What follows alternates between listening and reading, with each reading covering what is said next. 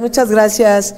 Asociación de Estudiantes de las Sociedades de Alumnos de esta universidad, que además quiero mucho, que la he visto trabajar y que me permite ahora presentar un libro que es al que le hemos llamado La Hora de México. Y quiero además hablarlo precisamente con jóvenes, con jóvenes que tienen una calidad profesional, pero una calidad también de formación social y de valores.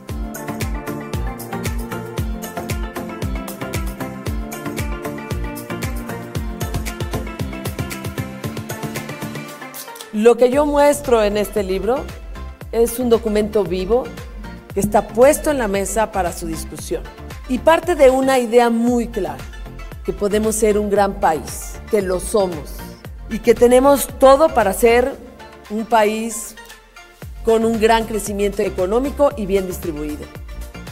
Que tenemos todo para ser un país honesto. Lo que necesitamos entonces es resolver determinados problemas que nos hagan darnos cuenta de lo que somos. Y yo eso es a lo que los invito. A mirar al futuro, a romper esquemas, a darse cuenta que ese país del que estoy hablando es el futuro de ustedes. Así es que los invito a hacer este camino para ustedes y sobre todo para México.